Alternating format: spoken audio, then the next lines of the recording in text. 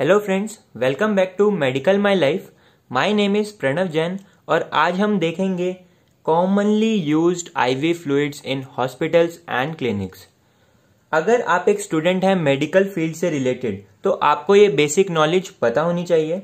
सो so, इस video में मैं आपको बताऊँगा uses and composition of NS जिसको हम नॉर्मल सेलाइन भी बोलते हैं। DNS stands for dextrose normal saline. उसके बाद हम देखेंगे डेक्स्ट्रोज इंजेक्शन के further three types D five D ten and D twenty five देखिए, यहाँ पर डी का मतलब है डेक्स्ट्रोज और ये जो फाइव है, ये क्वांटिटी बताता है डेक्स्ट्रोज इंजेक्शन की इस आईवी फ्लूड में।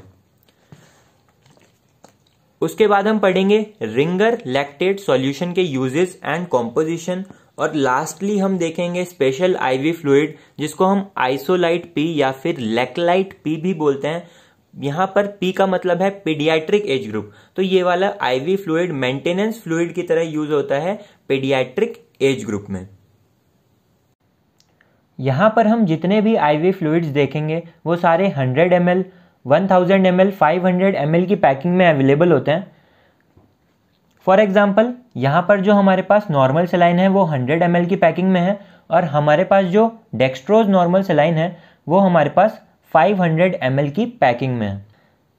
पर हम जितने भी आई वी फ्लूड्स पढ़ेंगे, वो उनकी कॉम्पोजिशन हम 100 एम में पढ़ेंगे स्टार्टिंग विद नॉर्मल सेलाइन देखिए सिंपल लैंग्वेज में समझते हैं ये है हमारे पास 100 एम नॉर्मल सेलाइन इस 100 एम नॉर्मल सेलाइन में 0.9 ग्राम होगा एन सोडियम क्लोराइड और रिमेनिंग पोर्शन क्या होगा? वाटर और ये वाटर सिंपल वाटर नहीं होता हाई क्वालिटी डिस्टिल्ड वाटर होता है विदाउट सिग्निफिकेंट कंटेमिनेशन जिसको हम बोलते हैं वाटर फॉर इंजेक्शन तो देखिए, आप अगर इस पैकिंग में देखेंगे, यहाँ पर लिखा भी है each 100 M L contain sodium chloride 0.9 gram and water for injection QS अब ये क्यू एस क्या है? Q S stand for quantum satis quantum satis का मतलब होता है amount which is enough next हम देखेंगे नॉर्मल सलाइन के यूजेस फ़र्स्ट यूज़ है इसका यूज़ इन डिहाइड्रेशन तो अगर वॉमिटिंग या फिर डायरिया का पेशेंट आता है तो डॉक्टर उसको नॉर्मल सलाइन आईवी इन्फ्यूजन देता है. क्यों? वॉमिटिंग और डायरिया में फ्लूइड का लॉस हो जाता है बॉडी से और इलेक्ट्रोलाइट इम्बैलेंस हो जाता है. और यहाँ पर क्या है हमारे पास? इलेक्ट्रोलाइट्स एंड वाटर तो फ्लूइड रिप्लेसमेंट और इलेक्ट्रोलाइट बैलेंस को मेंटेन करने के लिए हम नॉर्मल सलाइन का आईवी इन्फ्यूजन देते हैं।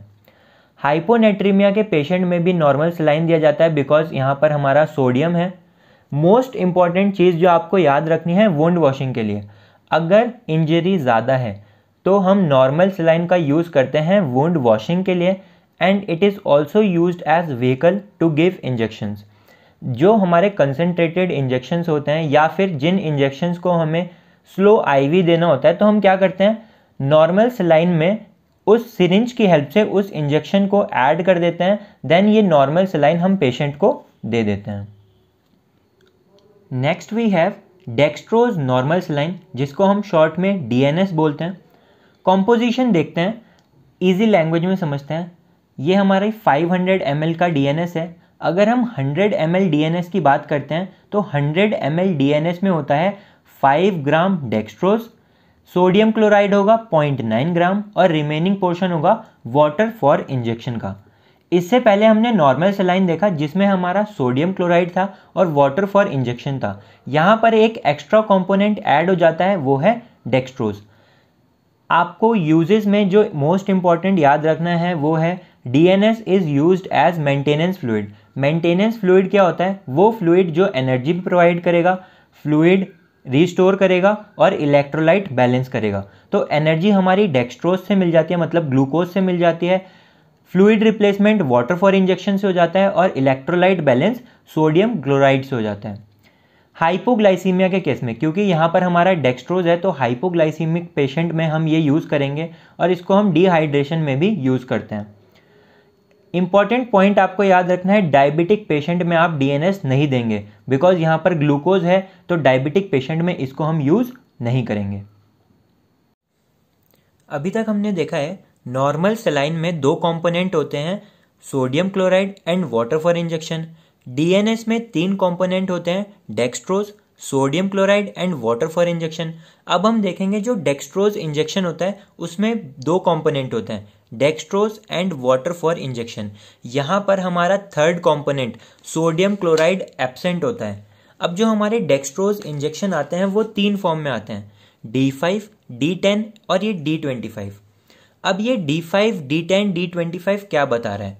डी फाइव बता रहा है hundred M L D five में डेक्स्ट्रोज का अमाउंट होगा फाइव ग्राम और water for injection Q S होगा।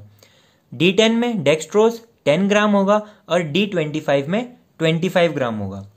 देखिए, जैसे यहाँ पर हमारे पास है dextrose injection D twenty five तो यहाँ पर डेक्सट्रोज का अमाउंट कितना है? Twenty five gram and water for injection Q S अब हम इनके यूजेस देखते हैं। जिन पेशेंट्स में हमें फ्लूइड रेप्लिनिशमेंट कराना है और कैलोरिक सप्लाई मतलब एनर्जी प्रोवाइड करानी है, लेकिन हमें इलेक्ट्रोलाइट बैलेंस नहीं कराना। उन पेशेंट में हम डेक्स्ट्रोज इंजेक्शन का यूज़ करेंगे। हाइपर नेट्रेमिक पेशेंट में हम डेक्स्ट्रोज इंजेक्शन का यूज़ करेंगे। वहाँ पर हम नॉर्मल सेलाइन एन या फिर डीएनएस नहीं यूज़ कर सकते बिकॉज़ वहाँ पर हमारा सोडियम क्लोराइड होगा। तो हाइपर नेट्रेमिक पेशेंट में डेक्स्ट्रोज इंजेक्शन का यूज़ करेंगे। Next is Ringer lactate solution जिसको हम शॉर्ट में भी बोलते हैं। मेन पॉइंट्स क्या हैं इसके यूजेस अगर बॉडी से एक्यूट ब्लड लॉस हो जाता है फॉर एग्ज़ाम्पल एक्सीडेंट के केस में सर्जरी के केस में तो वहाँ पर हम आरएल का यूज़ करते हैं। बर्न के पेशेंट में हम आरएल का यूज़ करेंगे और हाइपोटेंशन में भी हम आरएल का यूज़ करेंगे। बात करते हैं इसकी कॉम्पोजिशन की। So each hundred M L R L contain lactic acid यहाँ पर लैक्टेट है तो लैक्टिक एसिड होगा। Sodium hydroxide sodium chloride, potassium chloride, calcium chloride and water for injection composition आप याद कर सकते हैं लैक्टिक एसिड होगा point two four M L sodium hydroxide point one one five gram sodium chloride point six gram potassium chloride point zero four gram calcium chloride point zero two seven gram and water for injection Q S last we have Isolyte P it is multiple electrolyte and dextrose injection और इसको हम use करते हैं as maintenance fluid in paediatric age group paediatrics में हमें electrolyte कम और water का amount ज़्यादा चाहिए होता है, इस वजह से हम आइसोलाइट पी का यूज़ करते हैं। कॉम्पोजिशन देखते हैं तो यहाँ पर क्या होगा? Dextrose five gram water for injection QS और इलेक्ट्रोलाइट्स होंगे बहुत सारे।